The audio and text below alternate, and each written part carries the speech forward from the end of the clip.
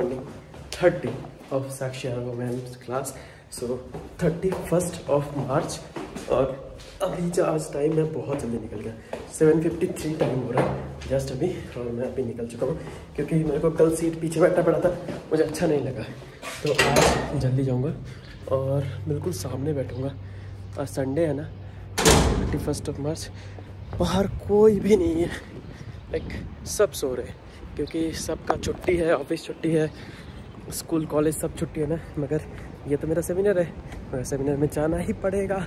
और कल की क्लास सोचो कि कल मेरा क्लास लगने वाला है एक तारीख से फॉरेंसिक मेडिसिन का। और ऐसा हो गया कि टीचर ने बोल दिया फ़र्स्ट क्लास ऑनलाइन होगा और फ़र्स्ट क्लास में मेरा इधर का हो जाएगा। तो ये एक अच्छी बात है। रास्ता भी पूरा सुना सुना पड़ा हुआ है। बस भी खाली खाली जा रही है। पंद्रह टाइम हो रहा है मैं पहुँच चुका हूँ अवलावरी स्टेशन और यहाँ से सात मिनट लगता है, कल जैसे मैंने काउंट किया था। तो सात मिनट में मैं होटल पहुँच जाऊँगा होटल रमाडा, फिर वहाँ से क्लास लग जाएगी और सोलह, आठ, पंद्रह, दो मिनट बाहर निकलने में लग गया। तो कोई नहीं, आठ, सत्रह टाइम हो रहा है मैं पहुँच जाऊँगा।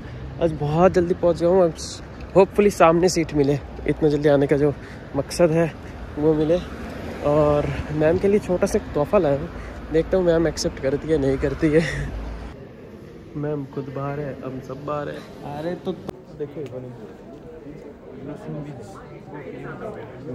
मेंबर प्राइम मेंबर है ये। यही तो main faculty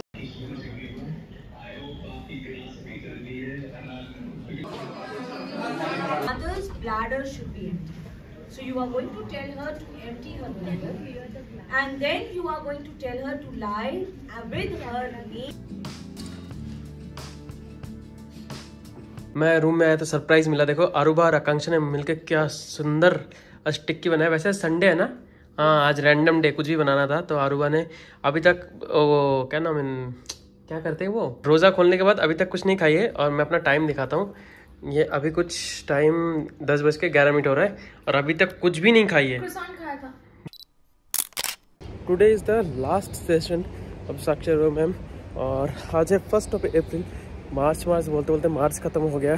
अब अप्रैल चालू हो गई है और कल मैम ने जो मोटिवेशन दिए ना, वो तो पूछो ही मत। बाय द वे आज मैं सेवन फोर्टी फाइव पे सॉरी सेवन फिफ्टी पे घर से निकल चुका हूँ और वहाँ पहुँचने में मेरे को टाइम लगेगा बीस मिनट। बीच में चल के जाना पड़ता है, साढ़े सात आठ मिनट। सो इतना टाइम तो लगता ही है। बिल्कुल खाली खाली सा है। क्रॉस करना चाहिए या नहीं करना चाहिए? इन दोनों गाड़ियों को निकलने देता हूँ। उसके बाद देखता हूँ। निकल जाता हूँ। तो वैसे तो गाड़ी तो है। रहा है। और अभी तक तो यहाँ तक पहुँच चुका हूँ। देखते हैं अभी वहाँ तक मतलब क्लास तक जाने में कितना टाइम लगता है। आठ बीस तक पहुँच जाऊँगा क्लास तक। Hope so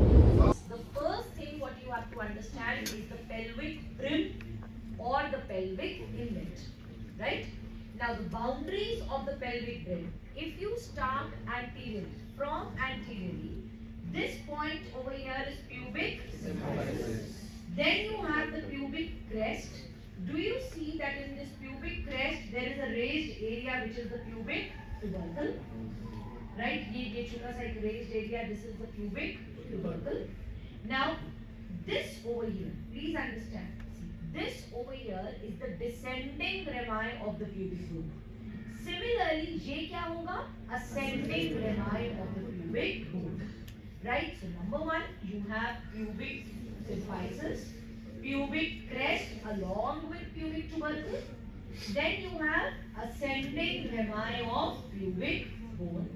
Now this entire curve over here.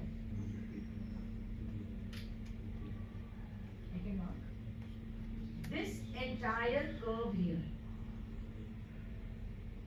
This, this line. Right? The orange is the line which I have drawn.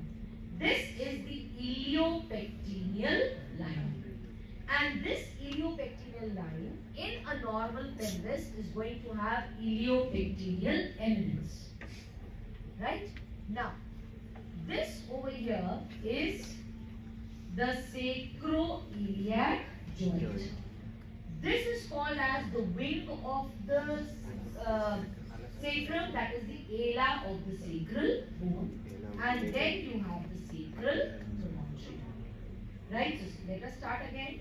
Number one, pubic. Pubic crest along with pubic. Then upper border of the ascending rami of. This is the ascending pubic bone. Then you have iliopectoral line.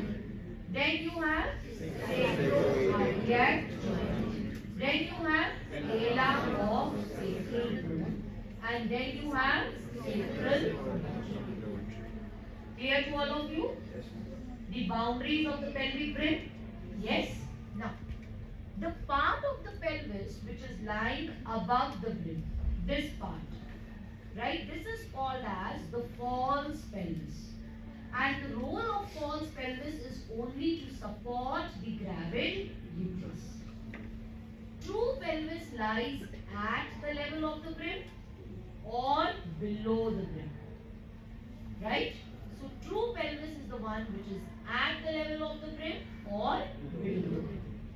Now a true pelvis will have three parts. Number one, inlet. Number two, cavity. Number three, outlet. Right? So first we are going to talk about inlet. Inlet is at the level of the brim. Right? So the part of the pelvis which lies at the level of the brim is the inlet. Now, when we are talking about inlet, suppose I ask one of you to come and draw the AP diameter of the inlet. One of you can come and draw this AP diameter like this. Right? Someone can say, no ma'am, I'm not going to draw the AP diameter like this. I will take it from the middle like this.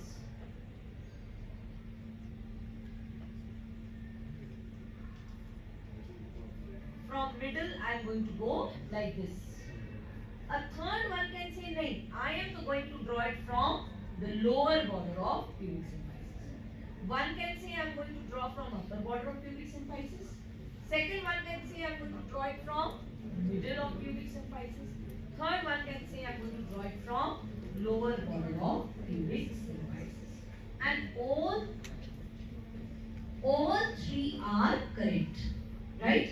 That is why in case of pelvis, we have, in case of inlet, we have three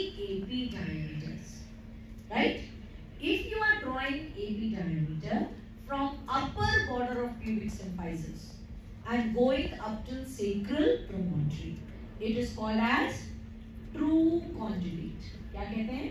True conjugate. True conjugate की value कितनी होती है? 11 centimetres. याद रहेगा? So what is true conjugate? Upper border of pubic symphysis से up till sacral promontory. Value? 11. Right? Then diameter from middle of pubic symphysis, right? That is called as obstetrical conjugate. क्या बोलेंगे? And its value is 10.5 centimeters. ठीक है? True conjugate upper border 11 centimeters. Then obstetrical conjugate 10.5 middle से 10.5 centimeters. ठीक है? Now comes the diameter which you are measuring from lower border. From lower border of pubic symphysis and up till sacral promontory, that is diagonal conjugate, which is 12 centimeters. Right? So याद रहेगा ऊपर वाले को क्या कहते हैं? True conjugate. How much? 11 centimeters. बीच वाले को obstetrical conjugate. कितना? 10.5. लोअर वाले को diagonal conjugate. कितना? 12 Right?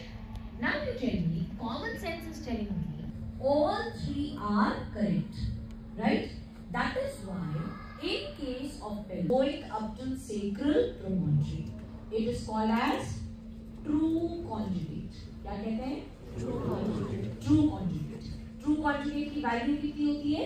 11 सेंटीमीटर्स. याद रहेगा? What is true conjugate? upper border of pubic symphysis से up till sacral.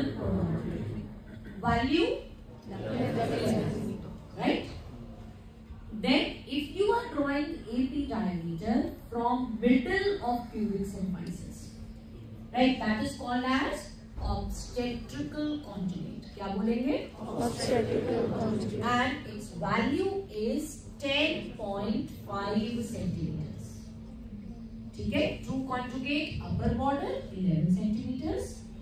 Then obstetrical conjugate middle से 10.5 centimeters. ठीक है? Now comes the diameter which you are measuring from lower from lower border of pubic symphysis and up to sacral promontory. That is diagonal conjugate, Which is twelve centimeter right तो याद रहेगा ऊपर वाले को क्या कहते हैं ट्रू कॉर्नर हाउ मच बीच वाले को कितना लोअर वाले को डायगनल कितना right now you tell me common sense is telling me कि smallest is obstetrical conjugate right so the head of the fetus can pass through obstetrical conjugate. it can definitely pass through the other two. Right? So if I ask you that amongst all three AP diameters of the inlet, which is obstetrically the most important one? Obstetrical conjugate. Tabhi to naam obstetrical conjugate. Right? Now understand I have where I can say कि यहाँ से AP diameter measure करूँ या यहाँ से transverse diameter measure करूँ. Because in cavity we have the sacrum bone and sacrum bone is concave like this. So the diameter is going to be different when I measure it at different levels. Right? So cavity में what we do is we measure two diameters. Right? One is where the diameters dimensions are maximum. That is called as plane of greatest pelvic dimension. And one is where the diameters are minimum. That is the plane of least pelvic dimensions. Right? So in inlet, in cavity, I am going to measure at only two places. एक वो place जहाँ पे diameters will be maximum and एक वो place जहाँ पे diameter will be minimum. Clear to all of you? Now for maximum dimensions, the landmarks are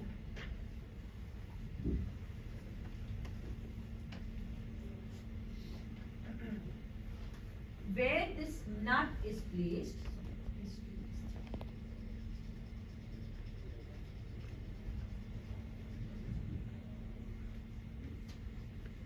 This area which I have marked is junction of S2 and S3 vertebra. Right?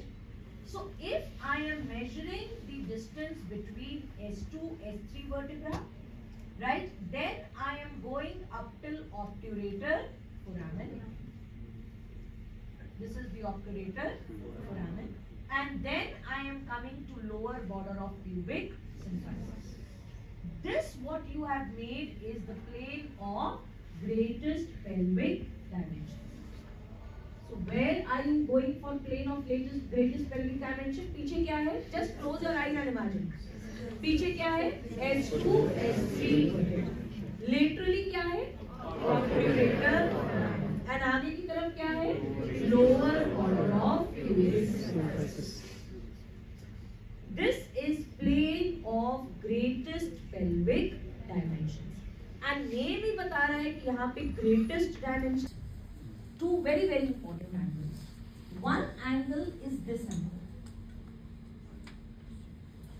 right this is the angle which is between the two descending rami of the pubic bones this angle is called as sub pubic what is it called as sub significance ये है कि female pelvis में this is obtuse male pelvis में this is acute so ये specimen कैसा है? Acute वाला right clear to all of you so in a female pelvis it has to be obtuse in male pelvis it is acute that is one angle which you have to remember sub pubic angle Then comes a second angle.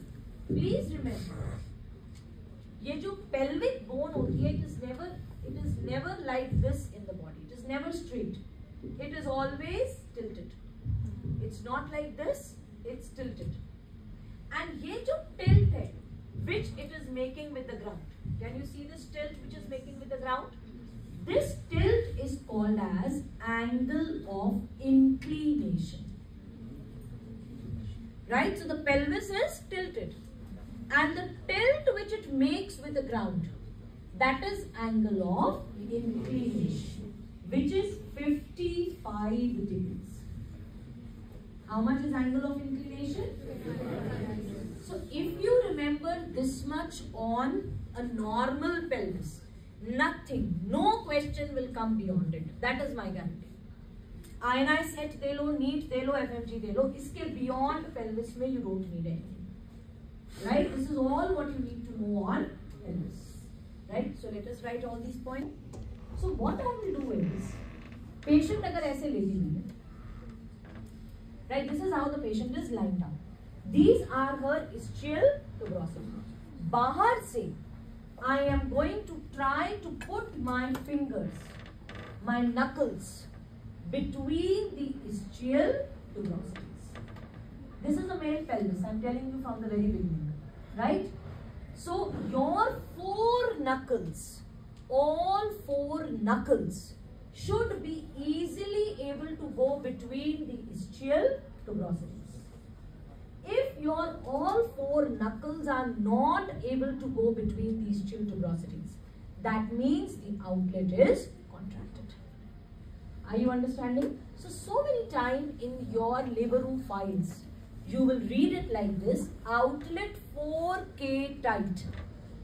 4K tight का क्या मतलब है कि four knuckles जा पाए थे but tight. Is that clear to all of you? So that is how you clinically come to know whether the pelvis is adequate or not. Clear? Any other question?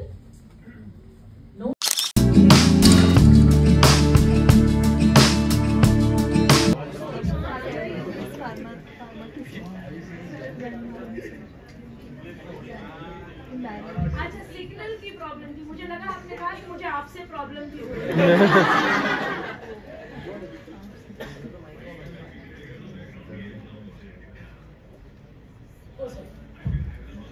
Oh, you are in Hyderabad? Okay. Russian में sir बात कर रहे हैं sir Russia से करके आए थे। और तरह आज पढ़ाते हैं मैरो में फार्मा पढ़ाते हैं।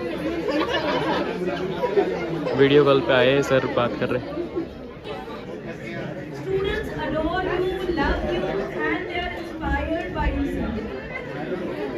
This is Marrow faculty of orthopaedics दो थे एंड हम हम चार लड़कियाँ थी जो हम एक साथ बैठते थे। And we use to discuss MCQs कुछ नहीं करते थे।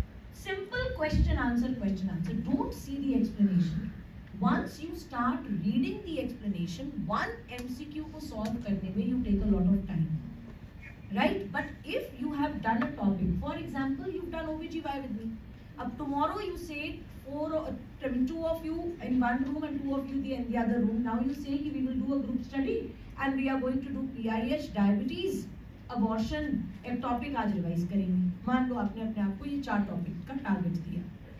अब आफ्टर डिनर रिवाइज अपने आप करेंगे। बैठ के रिवाइज नहीं करेंगे एक दूसरे के साथ। रिवाइज अपने आप करना है। After dinner you are simply going to open the MCQ source which you are following and हो सकता है चारों अलग अलग MCQ source follow कर रहे हो, all the more better right? अपने वाला ऐप खोला क्वेश्चन बोला, तीनों बाकी तीनों में से आंसर आया। आंसर सही है और सबको पता है कि आंसर क्यों सही है। कुछ नहीं नीचे पड़ा आगे बढ़ गए। फिर क्वेश्चन फिर आंसर मान लो कोई ऐसा एमसीक्यू है जिसका आंसर एक को नहीं समझ में आया कि क्या है बट बाकी तीन को समझ में आ गया। तो एक्सप्लेनेशन मत करो। It wastes a lot of time right उसी समय दूसरे को बता दो कि this is the answer is because of this when you do an active study like this and when you do an active recall like this, this stays with you for much longer time rather than अपने आप से आपको देख रहे हो और थोड़ी थोड़ी देर बाद जोन आउट हो जाए राइट या चार गलत हो रहे हैं तो डिप्रेस होकर छोड़ ही दे रहे हैं कि हमने तो एमसीक्यू पढ़ने ही नहीं right so for MCQs it's very important that you do this help each other in achieving your goals and in achieving your targets. Like just now you were saying कि मैम हम एक line बना लेते हैं और एक को पास करेंगे, फिर दूसरे को पास करेंगे, फिर तीसरे को पास करेंगे। सेम चीज़ अपनी नॉर्मल लाइफ अपनी स्टडीज़ में भी apply do that and that is why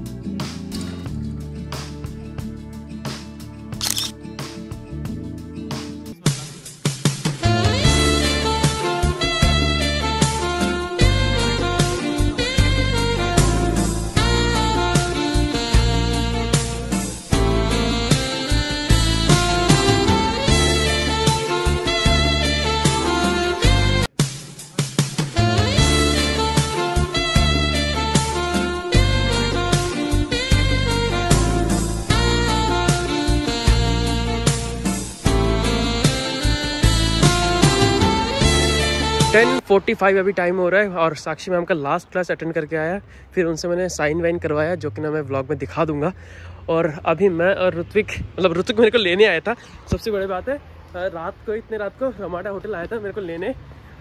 क्योंकि बहुत रात हो चुका है, साढ़े दस, ग्यारह बज, पौने ग्यारह होना टाइम तो इसलिए अभी हम लोग जाएँगे। पहले गए थे बिग बैगी वहाँ पे सारे खाना खत्म हो चुका है। फिर लंच बॉक्स गए थे लंच बॉक्स में भी सारे खाना खत्म हो चुका है। अभी दोनर दोनस पिछली बार एक बार मैं, आकांक्षा और अरबा जाके खाए थे। वहाँ पे जाएँगे, अगर वहाँ का खाना मिल गया तो वहाँ से खा के फिर देखते हैं क्या क्या कर सकते हैं। वैसे बहुत अच्छा सेशन था। चार दिन में ऑब्स का नहीं तो कंप्लीट नहीं हुआ, मगर जितना हुआ बेसिक लेवल से बहुत ही अच्छे से हो गया। सो so फाइनली रात को ये खाने को मिल रहा है दोनस जो कि चिकन ये नगेट्स सॉरी फ्रेंच फ्राइज़ और वेजीज बहुत सारा चीज़ है इसमें चीज़